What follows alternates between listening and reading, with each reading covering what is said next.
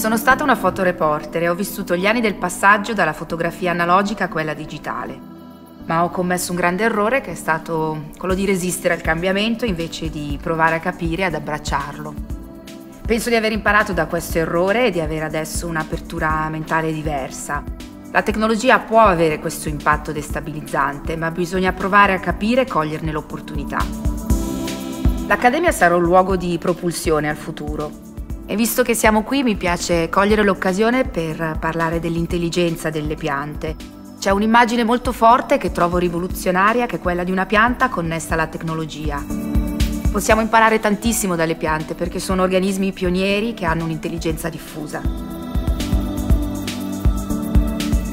Il focus non è sulla macchina, ma sulle relazioni umane che si costruiscono anche attraverso la macchina. Vogliamo creare uno spazio di incontro tecnologico e connesso dove il barista è in contatto con il coltivatore. È un percorso formativo adaptive, anche grazie alla tecnologia Cisco che ci aiuterà a rendere esperibili le competenze acquisite. Grazie all'utilizzo di questa tecnologia potremo attivare la community e organizzare una piattaforma per costruire relazioni.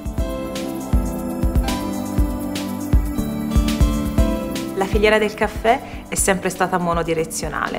Oggi cambia. Grazie alla tecnologia di Cisco stiamo creando uno spazio tecnologico ed interconnesso.